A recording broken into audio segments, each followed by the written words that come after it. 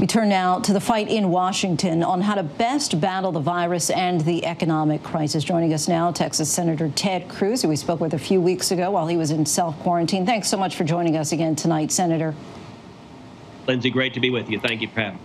Today, your home state of Texas surpassed more than 10,000 cases of COVID 19. What's the biggest concern for you right now and for Texas? Any worry that, that people may let their guard down and push to reopen too soon in places that haven't yet had a surge of cases? Well, look, we, we're, we're facing two natural uh, and national disasters simultaneously. We've got a, a public health disaster of, of the coronavirus epidemic, and, and, and that is, is we, we are imposing extraordinary public health steps to keep people safe and, and, and, and to stop this pandemic from getting even worse. At the same time, we've got an economic disaster. We, we have now over 17 million people uh, who've lost their jobs just in the last three weeks. And, and, and, and it is the consequence of government policies protecting our safety that, that has devastated jobs and industries. We've got to solve both. We've got to listen to the science and the medical professionals, flatten the curve, and stop this disease.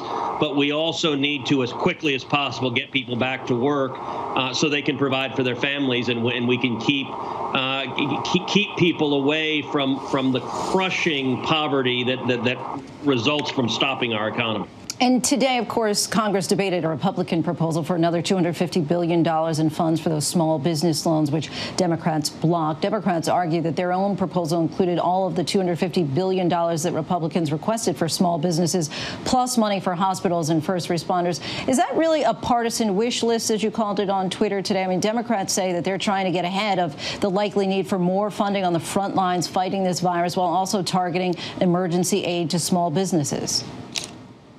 Well, I think congressional Democrats, unfortunately, have too frequently ap- ap- approached this crisis as an opportunity, an opportunity to advance their own partisan agenda. We need to be coming together in a bipartisan manner.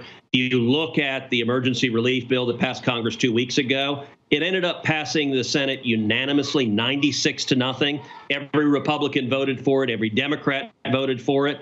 I voted for it, and Bernie Sanders voted for it. Everybody in between. That's what we need to be focusing on. That bill almost went down because at the last minute, Nancy Pelosi came in and held it hostage for a whole series of partisan objectives, things like the Green New Deal, that, that have nothing to do with the coronavirus epidemic. What we saw today is, is one of the most important components of that emergency relief bill.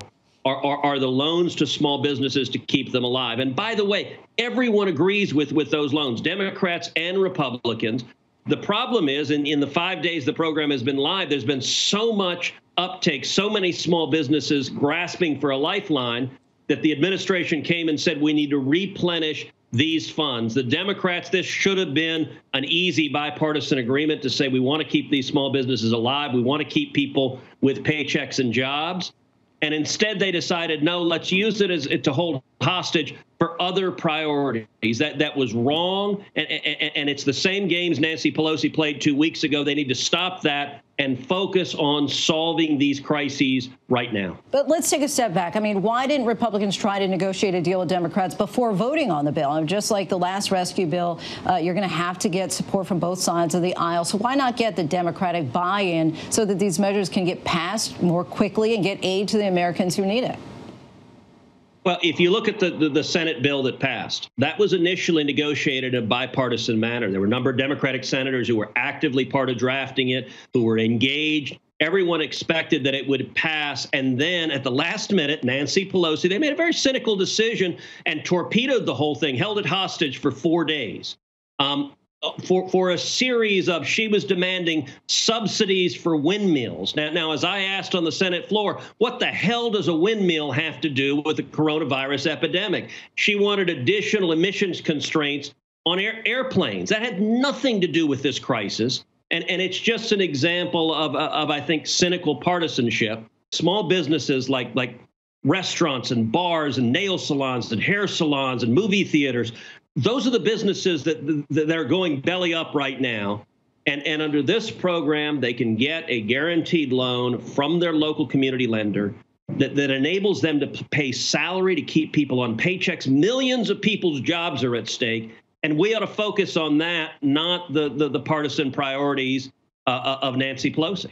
And just quickly, any chance that things will move forward, that the talks will continue over the weekend? There's certainly a chance. What we saw when these when when the Democrats played these games a couple of weeks ago, that they couldn't hold the line, and eventually what passed was actually very similar to the bipartisan bill that had been negotiated in the Senate to begin with. We may see the Democrats blink and realize that that holding small businesses hostage is not the right thing to do. I suspect a lot of Democrats are hearing from their small businesses, why are you cutting off the funds? These are emergency bridge loans to keep small businesses alive and to keep people in their jobs. And, and that needs to be our priority is keeping people uh, able to survive this crisis and move on and then have the economy roar back with small businesses driving the growth. Senator Cruz, a pleasure to talk to you. Thanks for your time tonight. Hi, everyone. George Stephanopoulos here. Thanks for checking out the ABC News YouTube channel. If you'd like to get more videos, show highlights, and watch live event coverage, click on the right over here to subscribe to our channel. And don't forget to download the ABC News app for breaking news alerts. Thanks for watching.